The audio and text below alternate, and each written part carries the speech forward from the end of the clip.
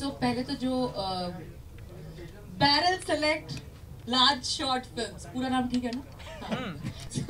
Thanks to them that we have this platform के आगे platform जो ट्रेन हमारी आती जाती रहती है उस प्लेटफॉर्म पे।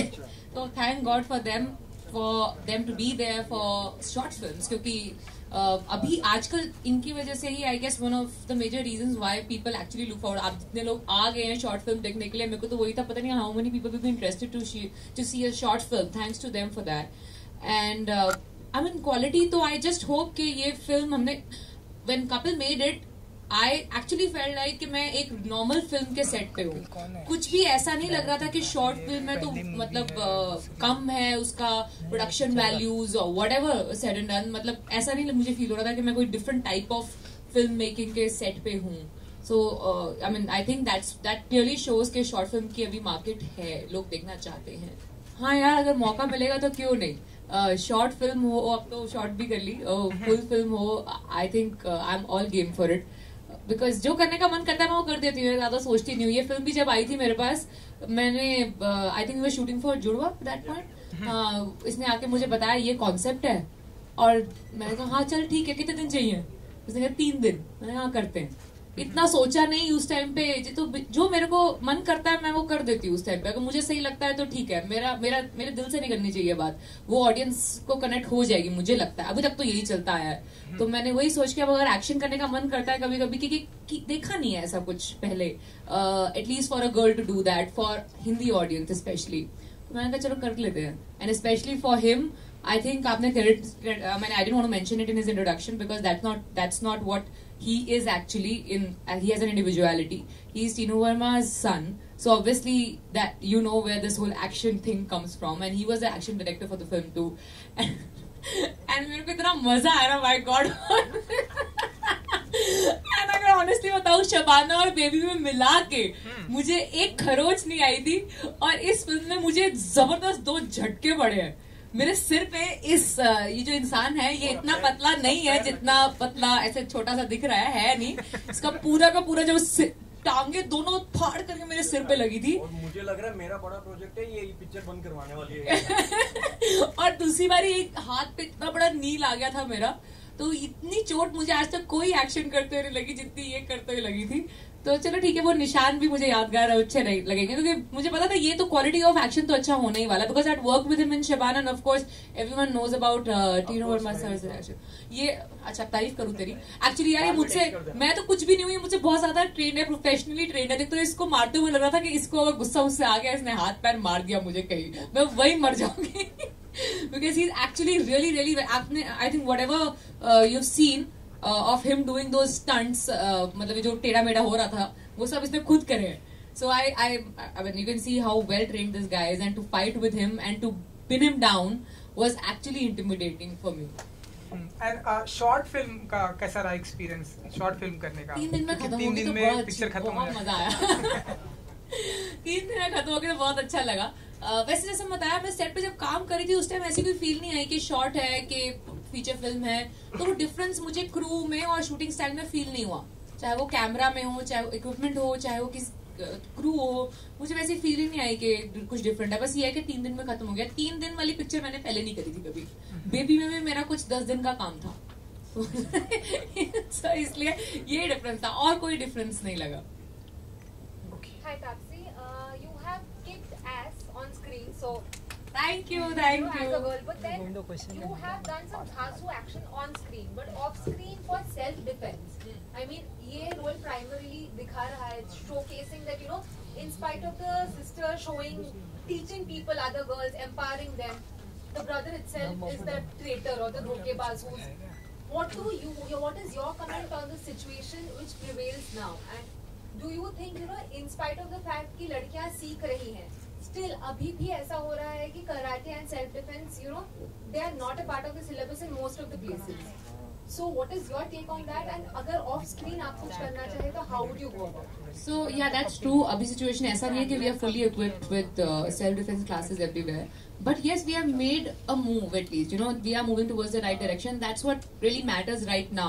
कितना इनफ होगा ये तो हमारे को भी नहीं पता कि कितनी क्लासेस होने के बाद ऐसा नहीं होगा. ऐसी गारंटी तो हमारे पास भी नहीं है.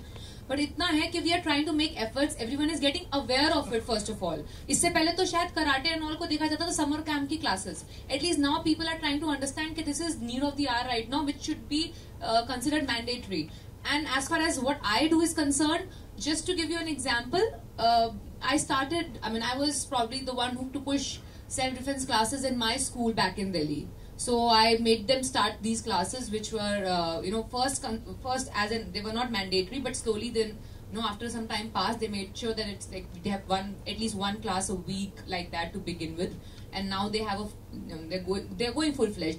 I could do that much in my school because I had that much of power in my hand to push it, so I did it. बाकी वो देख के कितने लोग करते हैं I think so many times I give you an example I I was boarding a flight and वहाँ एरोस्टेस मेरे पास आके she said you know thanks to you after I saw you fighting I went and joined uh, self-defense classes because I thought maybe you know I can do it too. So th- I think this is my way doing such things, doing doing such films, whatever I could do in my school to just show them. अगर मैं कर सकती हूँ तो कोई भी कर सकता है. I am no superhuman. So this is probably my way of doing a little bit, add a little bit to this cause. Overall, if you say mentally when you go through this, it's obviously quite disturbing when you see that your family is the one.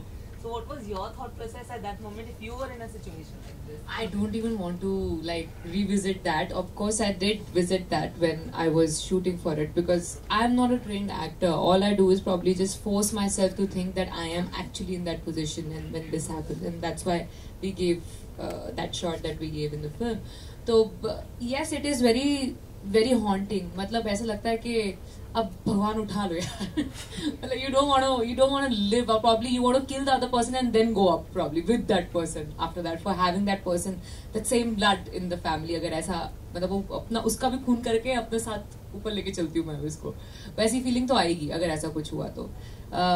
But yeah this this topic is very close to my heart so obviously this is for me honestly it's a combination और a mixture of pink and Shabana so this was the primary reason मैंने इसको देखा था कि pink meets Shabana the best way to sum up what I really want to stand for what I really feel was this short film so ये तो my for me it was very close to my heart experience बात करें आपके characters की, यहाँ पे। Baby नाम Shabana pink इस तरह की जो सारी मूवीज़ है, अभी ये शॉर्ट फ़िल्म आई है नीति शास्त्र।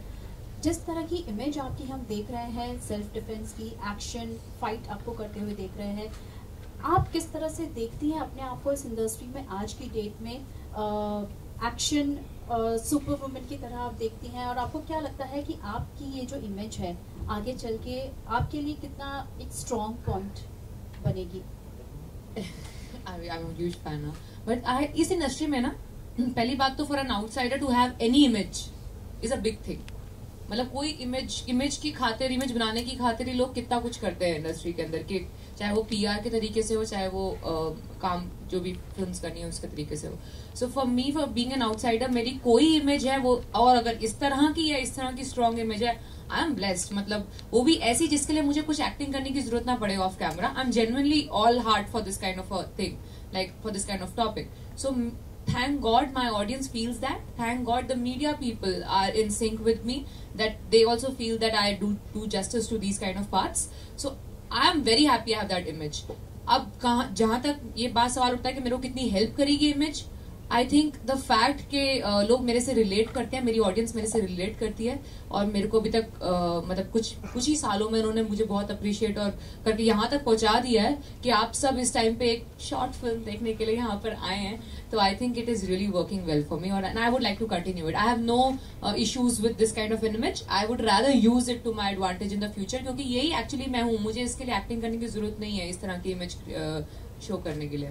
आपके फ्रेंड्स फैंस और फैमिली मेंबर्स से आपको किस तरह के फीडबैक्स मिलते हैं, इस तरह की फ़िल्म के बाद? मेरी मम्मी तो उनको तो ये डर लगता है कि पता नहीं अभी हाथ पैर कब तोड़वा के आएगी।